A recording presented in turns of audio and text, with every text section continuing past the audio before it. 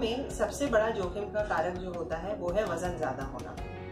तो body mass index अगर किसी महिला का 24 से अधिक हो उसके डायबिटीज़ होने के चांसेस बढ़ जाते हैं। इसके साथ साथ आ, कोई भी रिस्क फैक्टर इनमें से ज़्यादा हो तो भी चांसेस उसके बढ़ जाते हैं।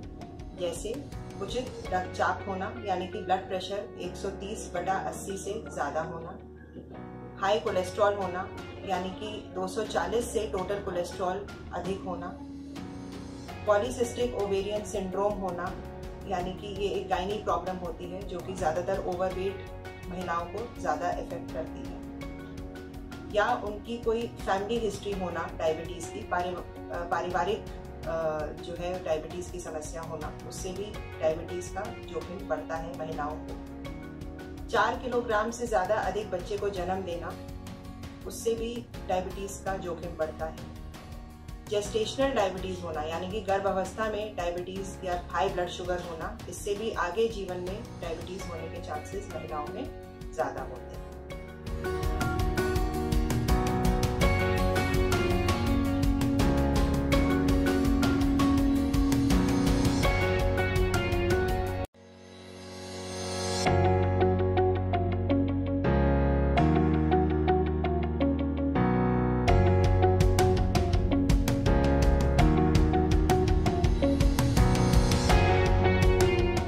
जैसा कि आप सबको मालूम है कि प्री डायबिटीज़ जो है, उसका मतलब होता है प्री डिस्पोज टू डायबिटीज़ यानी डायबिटीज़ होने का ज़्यादा खतरा। तो इसको हम डायबिटीज़ होने से कैसे रोक सकते हैं, उसके आपको मैं तरीके बताऊँगी। सबसे पहला और सबसे इम्पोर्टेंट तरीका है कि अपने वज़न को कंट्रोल में रखें। यानी कि नियमित रूप से सैर करें, सही पोषण युक्त खाना खाएँ और अपने वेट को कंट्रोल में रखें। अगर आप अपना वेट पाँच से सात परसेंट कम करने में कामयाब हो जाते हैं तो आपको डायबिटीज़ का रिस्क 58 परसेंट कम हो जाएगा। दूसरा है कि अपने आप को फिजिकली एक्टिव रखें। यानी कि अपना नियमित रूप से कम से कम हफ़्ते में पाँच दिन ज़रूर से 30 से 40 मिनट की सैर करें, व्यायाम करें। जो आपको अच्छा लगता है, वो व्यायाम करें, बट नियमित रूप से इसको करें। तीसरा आपकी नींद पूरी होनी चाहिए, क्योंकि जब तक नींद नहीं पूरी होगी, तब तक आप फ़िज़िकल एक्टिविटी और अपना ध्यान उतने अच्छे तरीके से नहीं रख पाए चौथा अपने डॉक्टर से रेगुलर रूप से मिलें, नियमित रूप से अपने टेस्ट कराएँ, क्योंकि प्री डायबिटीज़ कब डायबिटीज़ में कन्वर्ट हो जाए, ये जानना बहुत इम्पोर्टेंट है। आपको प्री डायबिटीज़ में उतने सिम्टम्स भी नहीं होंगे डायबिटीज़ के, इसलिए आपको टेस्ट कराना नियमित रूप से बहुत ज़रूरी है।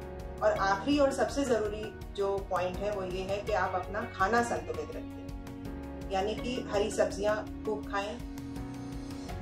स्मॉल फ्रीक्वेंट मील्स हम लोग कहते हैं, यानी कि हर दो तीन घंटे पे कम खाएँ, मगर थोड़ा सा ज़रूर खाएँ।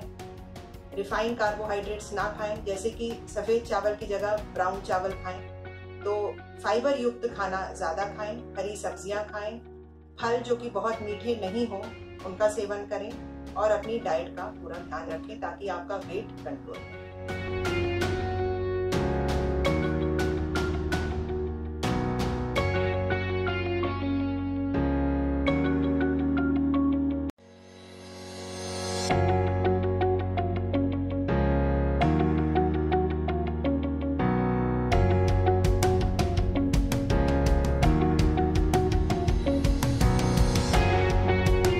डायबिटीज़ बीमारी जो है वो महिलाओं और पुरुषों को एक सामान्य रूप से असर करती है।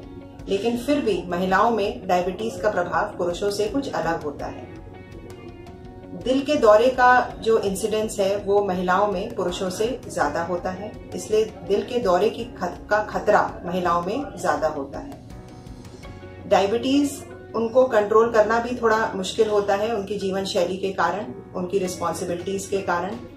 इसलिए कॉम्प्लिकेशंस महिलाओं में ज़्यादा होते हैं। जैसे डिप्रेशन हो जाता है उनको।